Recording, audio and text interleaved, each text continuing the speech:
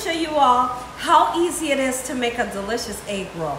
Now, these recipes is absolutely amazing. So easy to make, doesn't require a lot of ingredients, and if you make it Gina Young style, it's gonna be so tasty. Y'all never had my egg rolls. You better make you some. Here's all the ingredients you will need. First thing you're gonna need would be some egg roll wrappers. Now, make sure that you don't get the wonton wrappers. The wonton wrappers are much smaller. They come in a smaller package, but they're beside each other, so make sure you get this size. Now, all depending on what you would like to fill your egg roll with is gonna depend on your ingredient. So today for this egg roll, I'm gonna be doing a pork and shrimp egg roll. So I have ground pork. You can use ground chicken. You could use ground turkey, okay? We're gonna have some shrimp.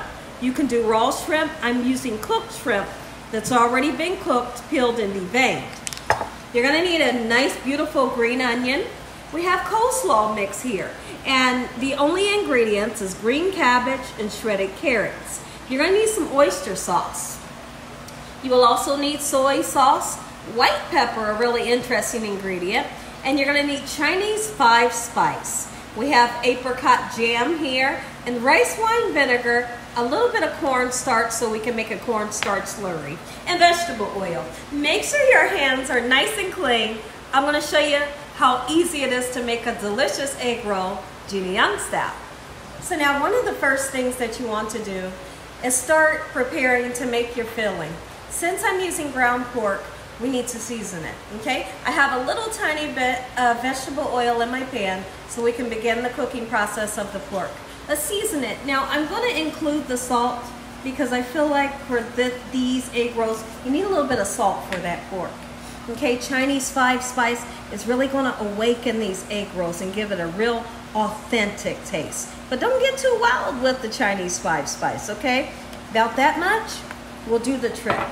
Okay, and then we're gonna use some white pepper, just like so in this manner. Once everything begins to get nice, beautiful, and golden brown, I'm gonna tell you the perfect time that we're gonna put a little bit of soy sauce and oyster sauce in here to really brighten up the flavor. So here's what we're gonna do. We're going to take our close coleslaw mix, which is the green cabbage and the carrots, and I wanna just kind of like flash cook it not long. We're not going to cook it long at all. Okay, so what I'd like to say is for probably about seven minutes, just on a slight boil. We don't want to make it wilt too much, but we want to cook it just a little bit. So literally, believe it or not, the cabbage and the carrot mixture, I just let it boil just for about three minutes, took it out and I put it into a strainer in my sink so that all the water can drain out of that cabbage. And then I'm going to go in with my hands and I'm going to wring out that cabbage to make sure that it's not really, really wet. Because a really wet mixture will break your egg roll wrapper, okay? So we're to do all we can. You can even use a cheesecloth if you need to. Put your um, wet cabbage into the cheesecloth, do it like this, wring it out, and get all that extra water out, okay? So now take a look in at this uh, pork that we have seasoned up very well. I want to break it down into little teeny tiny pieces. Okay, just like so. And let's take the time to get a nice color onto it. So now we'll just let that go for the time being. And what I want to do, I want to cut some green onion. Okay, I'm going to be cutting the green parts. That's the part that I want to use for flavor. It's going to really awaken up the taste of your egg roll. You can use a little bit of the whites if you want. I'll go ahead and use a little bit of the white, just like so. Okay, so now that I have that, I want to take the time to address the shrimp. Now, this shrimp here is already cooked. You can cook your shrimp if you wanted to.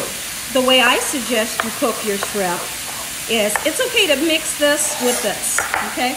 Um, how I suggest you cook your shrimp if your shrimp is raw is you're just literally gonna cook it in a little tiny bit of oil and salt it just for about two minutes, okay? And then take it out of the pan and put it onto a plate until you're ready to mix it into your mixture.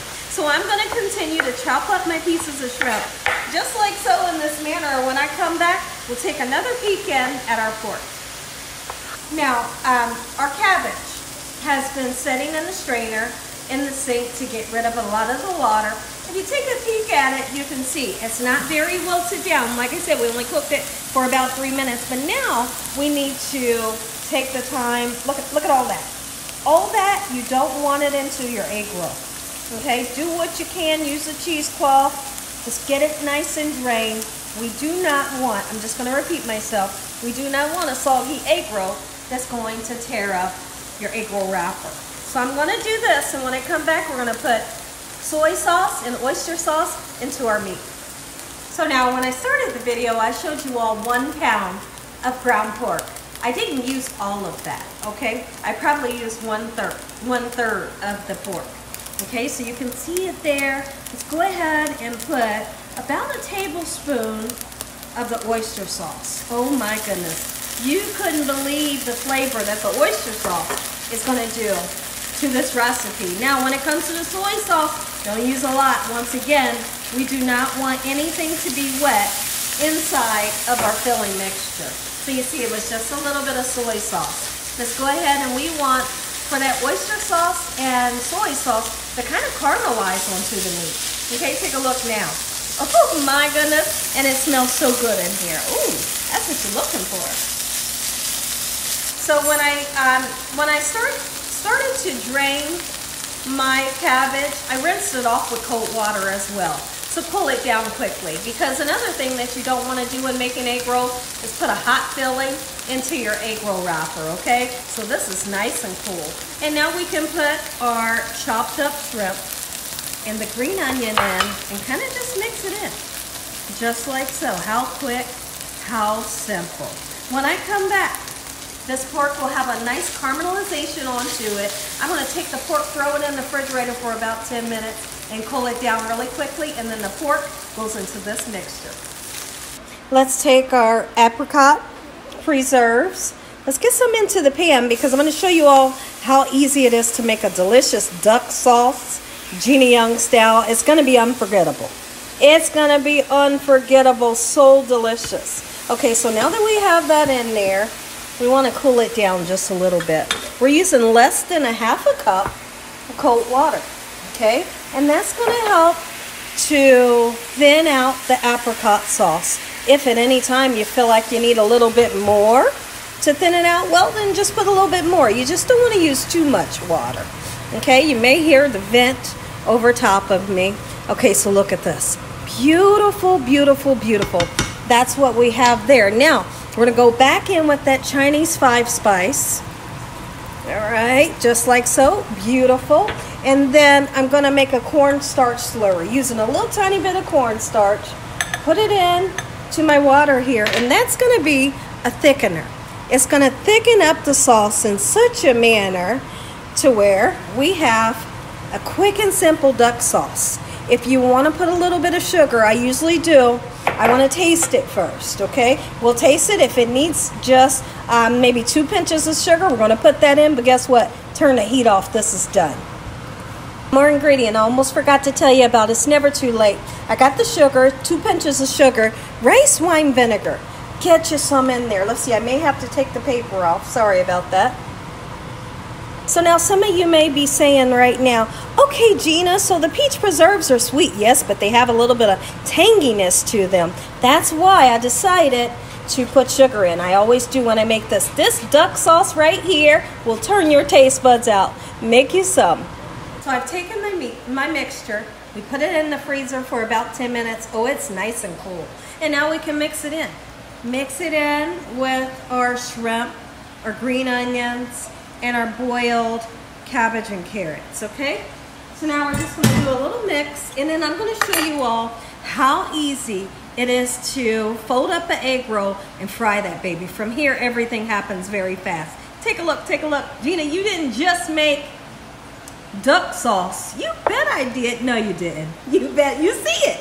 You see it. When I come back, let's wrap these babies together. So now it's very important that you do not decide to overstuff the egg roll. If you overstuff it, it's gonna be really hard to uh, wrap it. So now I want you to turn your egg roll wrapper in such a way to where the point is pointing towards you. Just like this here. You can see that? Have that point pointing towards you.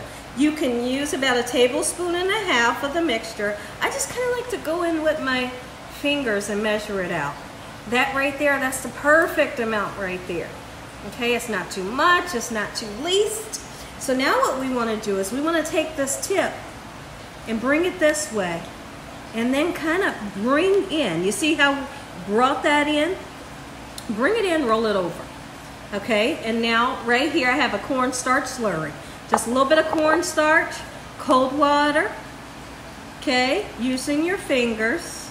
Just wet this, and we're gonna fold it over in such a manner. Okay, same thing here. You can't go wrong with it. And it's not hard. I'm gonna do several so you can see exactly what I'm doing so you can get the just. And now everything sort of looks like an envelope, right? You get it. Absolutely you do. You understand exactly what I'm doing okay? And then we're gonna fold. But right here, this needs to be nice and wet. You can use an egg wash. You can just use water if you want, but I, I tend to really like to use the cornstarch and what the cornstarch does to get it nice and sealed. There's our egg roll. How simple. Let's put this onto a cookie sheet, seam side down. I'm gonna show you another one. Oh, I'm gonna show you another one. Let's do it. Let's put the tip this way. Don't overfill it. Okay, about a tablespoon and a half is all you're gonna need. If you think you got too much, you probably do. if you're second guessing yourself at any point, you probably have too much. Okay? Just like so, bring it forward. Okay? Wet it just by a little bit. Let's roll it over first. And then just like so. Same thing here. Let's wet it. Bring it onto each other. And you see how it looks like an envelope? That's what it's supposed to look like. Start folding. Get this nice and wet, just like so. How quick and simple. Use any meat that you want when you're making your homemade egg rolls. So you can enjoy your recipe in such a manner.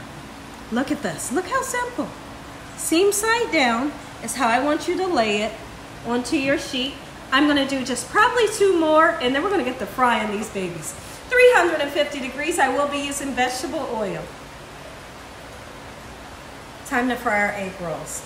Now, uh, these can even be set into the refrigerator um, or and or the freezer. And then when you're ready to use them, break those babies out and, and cook them, okay? So let's load them into the oil nice and gently. Okay, be very careful. You don't want any splattering, okay? Place it into the oil, and then when you get close to oil, let go of it, okay? Just like so in this manner. How quick and simple. This is a recipe. You definitely have to make it for your family and friends, all your loved ones, and then you come back, message me back and let me know what you think about this here recipe. Take a look at it, y'all. Take a look at them. Uh-huh. Uh-huh. Homemade, homemade, homemade. Listen here, everybody. If you all enjoyed this here video, give me a thumbs up. If you haven't subscribed, what are you waiting on? Tell your family and friends and everybody you know, tell the whole world what Gina Young is doing in this kitchen on a daily basis. Let's say a quick prayer. Heavenly Father, we thank you for today. We thank you for this beautiful meal. In Jesus Christ's name we pray. Amen. Amen. Once again to my beautiful prayer. Let's cut down into this baby. Y'all, I know it's hot, but I, I can't resist it. Oh, the crunchy. There it is. It's the crunchity, crunchity, crunchity, crunch, crunch, crunch that you all love. I know you all love it. I love that crunch. And then you're going to see nice pieces of pork. Look at that piece of shrimp just sneaking through there. Oh, wait, you better make it some Gina Young style. Now, it might be too hot. I think it's a little too hot for me to try. I ain't gonna burn my mouth for you guys. Come on in. Let's try this homemade duck sauce. Just like so. Ooh, that's it. My goodness. God bless. Thank you for watching. Good night.